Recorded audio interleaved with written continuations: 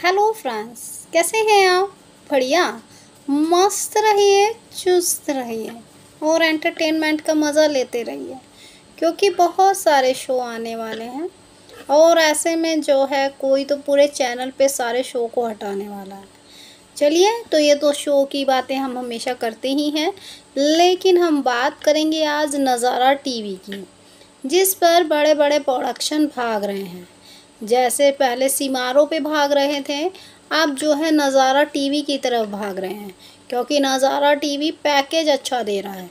ऐसे में शशि सुमित अपना एक नया शो उतारने वाली हैं, जिसकी न्यूज़ काफ़ी दिन से चल रही थी कि उन्होंने इस कास्ट को हायर किया है, उन्होंने इस कास्ट को हायर किया है।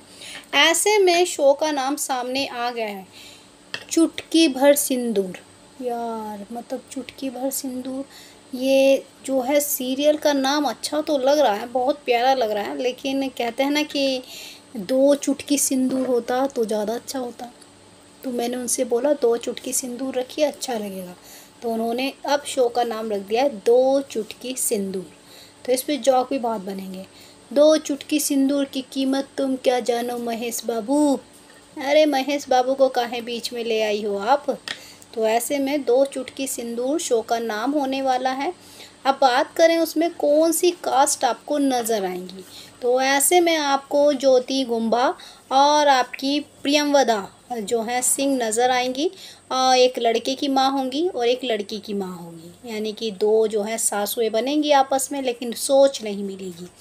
ऐसे में जो है ज्योति जो है बहुत प्यारी एक्टर्स हैं, जो कि हमें इमली जैसे शो में भी काफ़ी एंटरटेनमेंट कर चुकी हैं, या फिर कथा जैसे शो में भी हम उन्हें देख रहे हैं।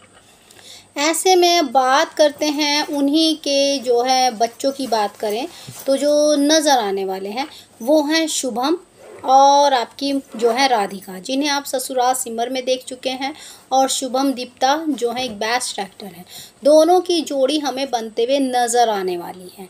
जहाँ पे न्यूज़ निकल कर आई है कि कहानी काफ़ी ज़बरदस्त होगी। शशि मैम के शो का कॉन्सेप्ट बहुत प्यारा होता है। जैसे हम मीत देख रहे हैं या फिर उनके सब टीवी पे भी देख रहे हैं तो उनके शो के जो कॉन्सेप्ट होते हैं ना, वो बहुत अच्छे होते हैं। ऐसे में अब बात करें कि जो है मैं एक हीरो तो और होना चाहिए। सर्चिंग अभी आ रही है। लेकिन एक जय जावेरी। ये नज़र आएँगे। ये मेहंदी है रचने वाली, जैसे शो में सपोर्टिंग रोल में नज़र आ चुके हैं।